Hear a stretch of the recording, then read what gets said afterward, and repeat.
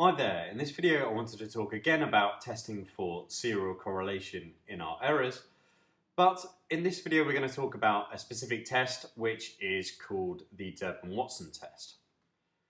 So just remembering what we did last time, the idea was that we had some sort of population error process whereby our error in period t was related to our error in period t minus 1 plus some sort of idiosyncratic error ut. And the way in which we went, went about testing this was by taking our residuals from our OLS regression and regressing them on a constant and our residuals in the period t minus 1. And the idea here is that if we were to test for significance of delta 1, then that was kind of our way of testing for whether rho is equal to naught in the population. So our null hypothesis here was that rho is equal to naught, in other words that we have no serial correlation, and our alternative hypothesis here was that rho does not equal naught. Okay, so, and we did that by means of a t-test. So there is another way in which we can test for serial correlation, and for historic reasons, it's known as the Durbin-Watson statistic. And the Durbin-Watson statistic is defined as if I sum from t equals 2 to n of et hat, so my residuals in period t, minus my residuals in period t minus 1, all squared, and then if I take that and divide it through by my sum from t equals 1 to n of et hat, all squared.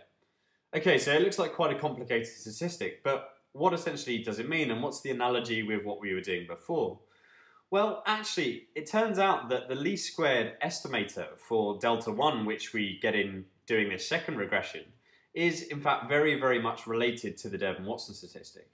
One way in which it's different is that the bottom here would in fact be the sum of t equals 2 to n of et minus 1 all squared which isn't actually that different if I have a very large sample, right? Because whether I include that first error or don't, it's not going to make that big a deal, but perhaps it makes more of a deal in smaller sample sizes.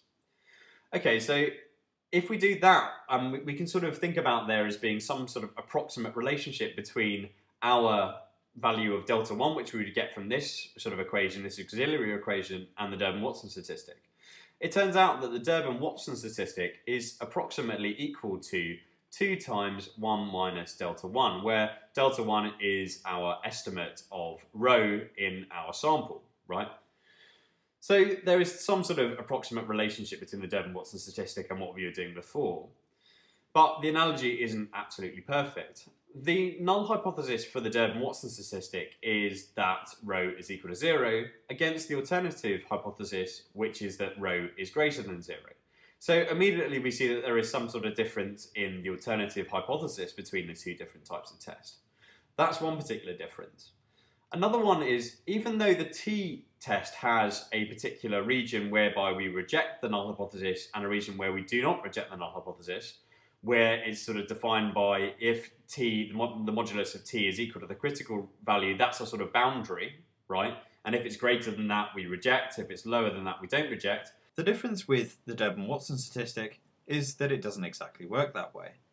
If we find that the Durbin-Watson statistic is greater than some sort of upper critical value, in that circumstance only do we not reject the null hypothesis. However, there is a region for which the Durbin-Watson statistic is inconclusive.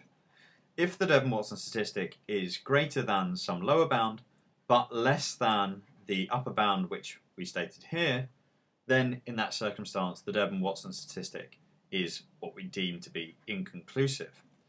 So there is a region whereby we don't know whether we should not reject the null or the fact that we should reject the null hypothesis. And then finally, as you might expect, if the Durbin-Watson statistic is less than some sort of lower critical value, only in that circumstance do we reject the null hypothesis. And as you might expect, this inconclusive region is a real problem with the Durbin-Watson statistic when you compare it to, let's say, the t-test. A further problem with the Durbin-Watson statistic is that it is not robust to the inclusion of endogenous regressors. So if you have a lag-dependent variable in your model, you shouldn't be using the Durbin-Watson statistic, whereas you can adapt the t-test, which I sort of indicated over here on the left, in order to take this into account. So why do we care about the Durbin-Watson statistic? Well, one of the reasons is sort of mainly historical. Historically, it's always been one of the statistics which has been reported by default in statistical programs, along with, let's say, the R squared and t-stats. But there is an, another much more important reason for us talking about the Durbin-Watson statistic. And it's that essentially the t-test up here relies on some sort of asymptotic theory. It relies on the central limit theorem.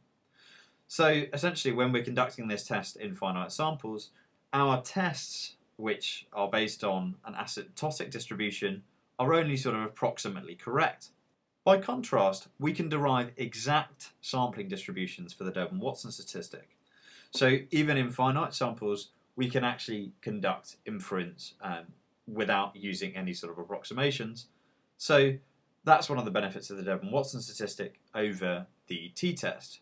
Essentially, when you have a small sample size, it might be preferable to use the Durbin-Watson statistic over that of the t-test. In the next video, we're going to talk about how we can correct the t-test for higher order serial correlation and for the presence of endogenous regressors.